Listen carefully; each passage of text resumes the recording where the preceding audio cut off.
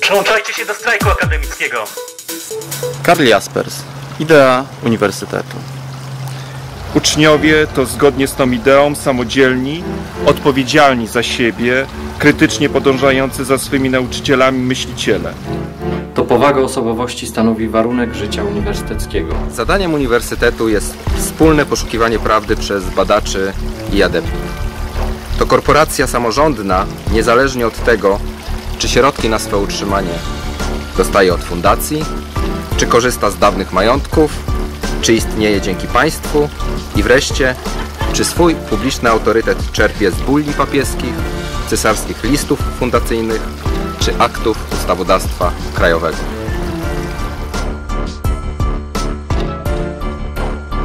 Arystokracja ducha to arystokracja w sensie społecznym. Każdy do niej predestynowany winien znaleźć możliwość odbycia studiów. Jest ona wolnością wypływającą z sobie tylko właściwych źródeł, występuje w równym stopniu u szlachty dziedzicznej, co u robotników. U bogatych i biednych wszędzie równie rzadko. Może być jedynie mniejszością.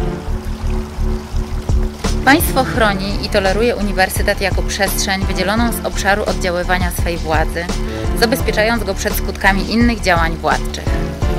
To oznacza wymóg bezwzględnej wolności nauczania. Państwo gwarantuje w tym punkcie korporacji prawo, aby nauczyciele bez wpływu ze strony politycznej woli partyjnej lub przymusu światopoglądowego podjęli, kierując się względami czysto merytorycznymi, próbę badania i uczenia prawa. Uniwersytet istnieje za sprawą państwa. Jego byt jest uwarunkowany politycznie.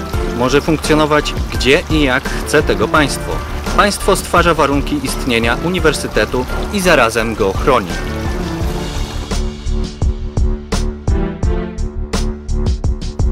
Po reformie 2.0 pogłębią się nierówności w dostępie do edukacji. Polska cofnie się cywilizacyjnie o kilka dekad. Młodzi ludzie będą mieli problem ze studiowaniem.